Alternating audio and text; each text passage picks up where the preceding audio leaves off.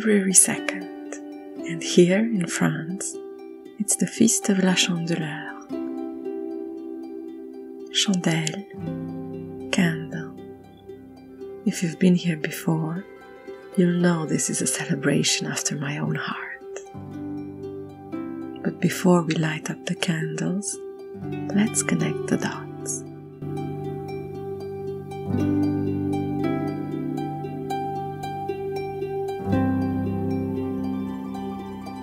Like many other Christian feasts, La Chandeleur or Candlemas has been overlapped with a pre Christian feast. I don't like the word pagan, it involves someone being right and others being wrong. So, before celebrating the presentation of Jesus at the temple, the Celtic feast of Imbolc used to mark the transition into spring, just like the pastoral festival of Lupercalia in ancient Rome, symbol of purification, health, and fertility.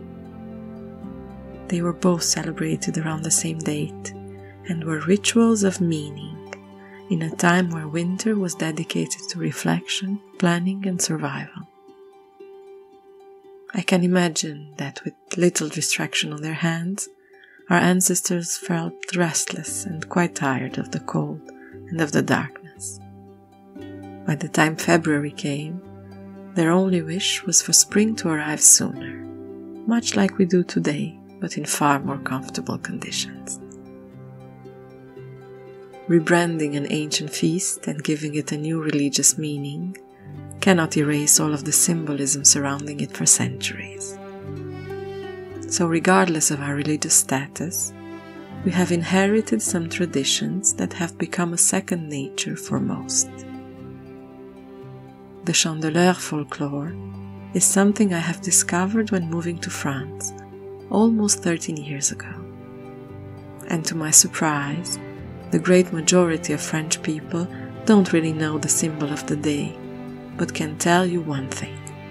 Chandeleur means eating crepe. Whether it is because of their round shape that mimics the sun and so the return of the light, or the historical detail of a 5th century pope that used to distribute crepe or pancakes to travelers arriving to Rome. One thing's for sure everyone has the same craving on February 2nd.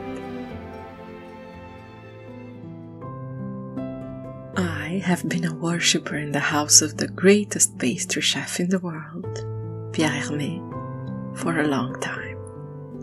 And his recipe for crepe is perfection. The secret is letting it rest for a while, so I begin in the afternoon by mixing all of the ingredients to form a very fluid batter with the consistency of a double cream. Eggs, vanilla, orange blossom extract, milk, and flour.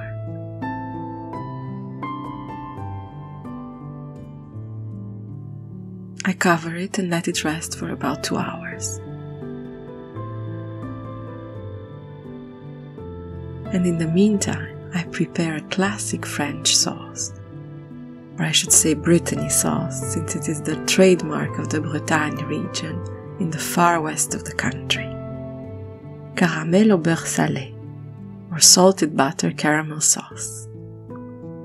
Cast the sugar in a dry pan on a medium high heat until it starts melting. Then turn the heat down and start stirring to help it dissolve completely without burning. Then add some salted butter or regular butter and a generous pinch of salt. And when it has melted, a little milk. You'll see the caramel get lumpy and thick all of a sudden, but keep stirring and keep your faith. You'll have a silky caramel sauce in no time. But consider yourself warned. You'll have to show a lot of self restraint and force yourself to put the teaspoon down. It is addictive.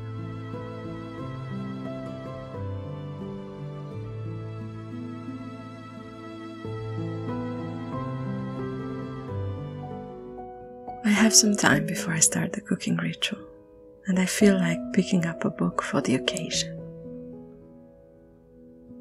It hasn't been translated into English, but bear with me. I think you'll want to hear about this one.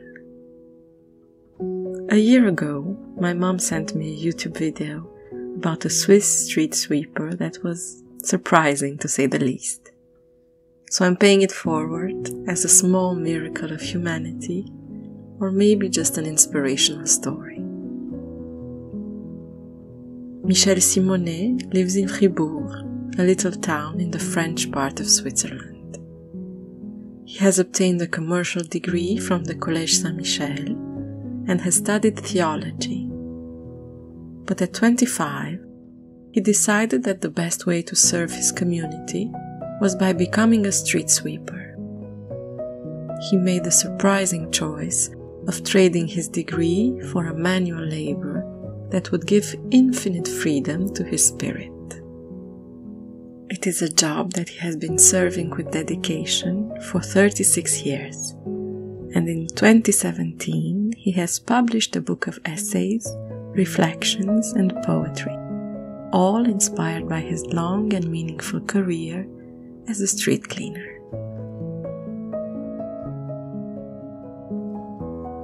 Tête libre et bras occupés me vont mieux que l'inverse. Cet harmonieux équilibre d'ampleur et d'intensité, d'action et de contemplation, d'élan enthousiaste et d'habitude, de savoir-faire et de savoir-être, de relations publiques et de solitude, s'étale sur une journée entière. En voici quelques moments.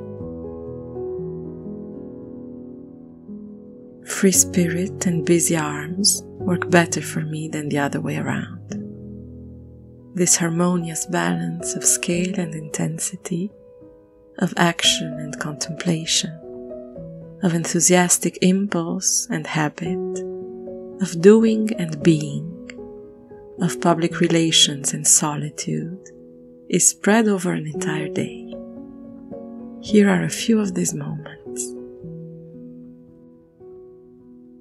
A lesson in 121 pages about the importance of your perspective.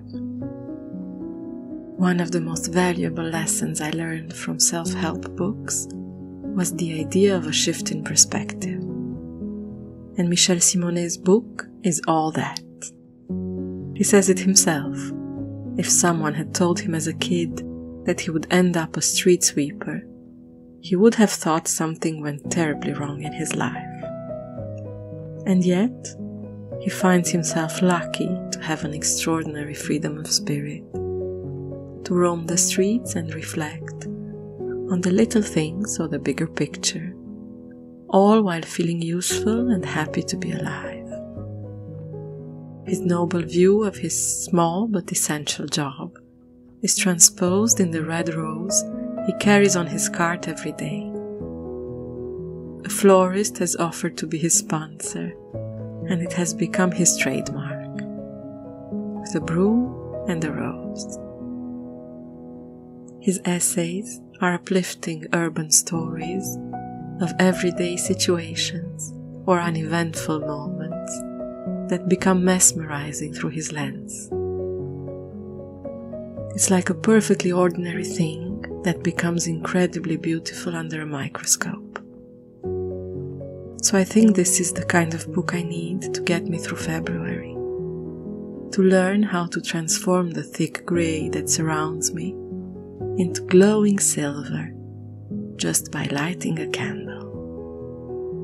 I'll leave the link to an interview with Michel in the description box below.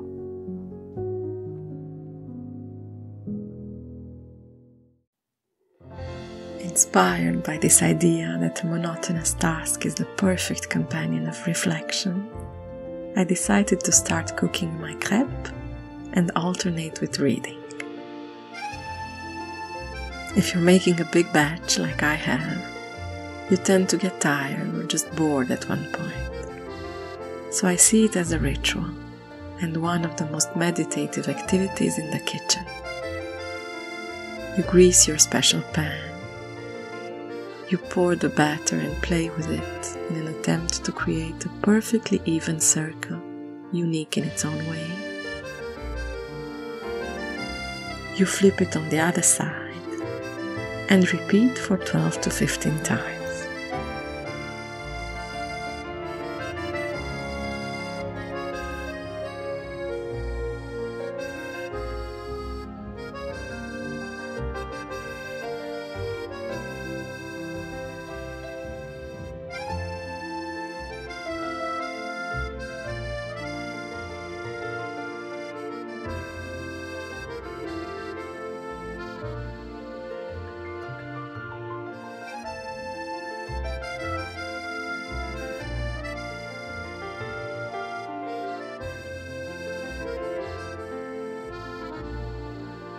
By the time you have a good thing going, you're done. So there's nothing left to do but eat a crepe, enjoy a nice cup of tea, and finish your book by candlelight.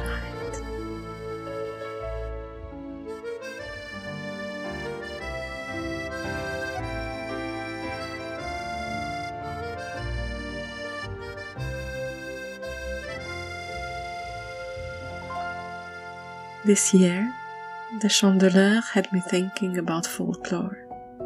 How, in a way, we feel quite possessive of our own traditions, and yet we enjoy showing them off like an immaterial treasure we hold dear. For many years, I felt like traditions were being transformed into a radical religion by nationalist voices. The free spirit in me wanted to go against this current that was keeping us in the past, and in a way it was denying our chance to evolution. Today, as I practice the tradition I've learned as an adult, I believe that the value of folklore resides in its power to give meaning to our actions. I need to know where it comes from, what it means, and why it was done. But once I do that, I see sunshine in my crepe. I enjoy my candlelight reading as if it were a precious moment I won't be able to enjoy again for many months. I pay attention to every bonus minute of light and feel grateful for the never ending cycle that makes our planet such a wonderful place.